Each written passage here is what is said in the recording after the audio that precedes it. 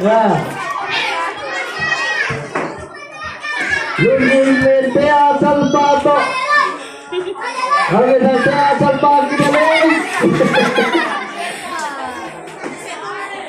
Lungin lete asal pato, nanti asal pato kita nih. Dua orang. Atu bosan